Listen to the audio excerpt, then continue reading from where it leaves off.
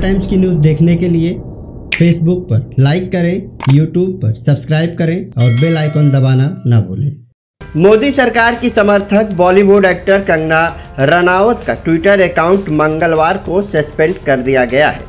माना जा रहा है कि बंगाल चुनाव परिणाम में ममता बनर्जी पर की गई टिप्पणी के बाद कंगना के ट्विटर अकाउंट पर ताला लगा दिया गया है। कंगना ने ट्वीट कर ममता बनर्जी के खिलाफ आपत्तिजनक शब्द का इस्तेमाल किया था, जिसके बाद से ही यूज़र्स कंगना को बुरा भला कह रहे थे। अब ऑफिशियल तौर पर कंगना का ट्विटर अकाउंट सस्पेंड कर दिया गया है। कंगना ने बंगाल चुनाव के परिणाम के बाद सिलसिलेवार रूप से कई ट्वीट्स किए थे। उन्होंने तृणमूल कांग्रेस पार्टी यानी कि टीएमसी के खिलाफ बयान दिए और ममता बनर्जी पर टिप्पणी की थी।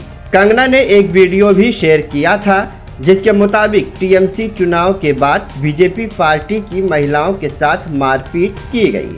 हालाँकि कंगना के इन ट्वीट्स के बाद यूज़र्स ने कंगना को हर तरफ़ से घेरा था। आपको बता दें, कंगना रनौत मोदी सरकार की बड़ी समर्थक मानी जा रही हैं।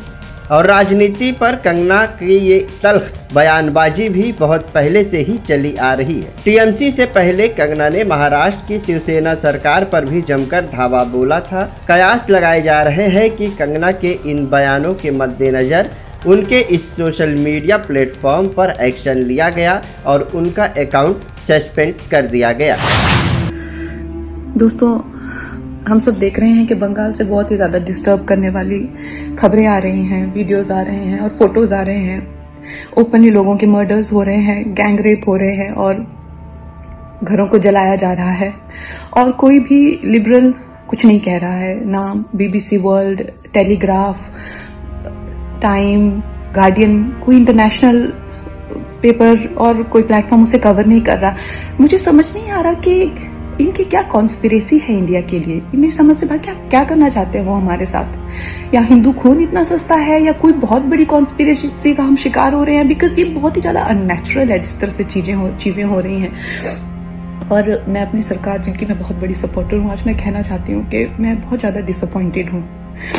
जो वहाँ पे खून की नदियाँ बह रही है तो आप लोग धरना करना चाहते हैं।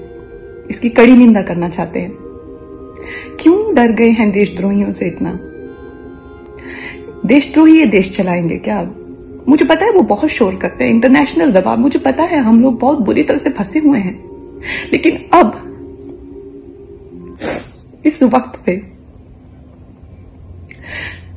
जब प्रेसिडेंट रूल की ज़रूरत है, जवाहरलाल नेहरू बारह बार प्रेसिडेंट रूल या आठ बार लगाया था, इंदिरा गांधी ने पचास बार लगाया था मनमोहन सिंह ने दस बारह बार लगाया था तो हम हम किससे डर रहे हैं? इस देश को क्या ये देशद्रोही चलाएँगे? और मासूमों की हत्या होगी और हम सिर्फ़ धरना देंगे?